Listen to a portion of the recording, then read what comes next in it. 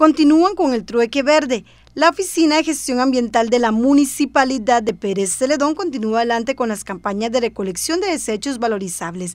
En el 2020, en medio de la situación más crítica de la pandemia, se comenzó a trabajar y se realizaron una serie de recolecciones en diferentes localidades del cantón, por lo que en este 2021 continúan adelante con el proceso de realización de estas actividades en localidades distintas.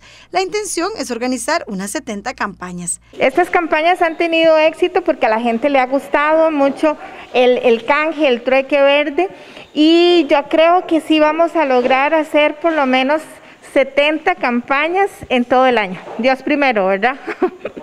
Hace un año con pandemia empezamos aquí, en Rivas. Entonces, tenemos que darle gracias a Dios que, que fue un buen inicio, un buen augurio de, de empezar con con las campañas y que la gente le ha gustado mucho. Hemos estado todo, todos los, todas las semanas, estamos en diferentes comunidades. Las mismas se realizan en todo el cantón y la intención es que la mayoría sean en sectores donde no se brindan los servicios de recolección de desechos. Eh, las campañas no están eh, enfocadas solo en la parte urbana, sino más bien estamos en todo el cantón, estamos visitando Pejivalle, estamos visitando Cajón, eh, La Amistad, el distrito de La Amistad, eh, todos los distritos, Carmencita, ahí estamos llegando. ¿En qué consisten esas campañas? Pues la campaña eh, consiste, bueno, se llama Trueque Verde y consiste en que estamos recolectando eh, vidrio de botella de varios colores, azul, verde, blanca, y por cada tres kilos de vidrio